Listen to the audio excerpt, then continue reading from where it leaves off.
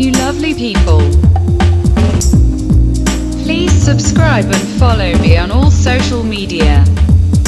Your support is very much appreciated.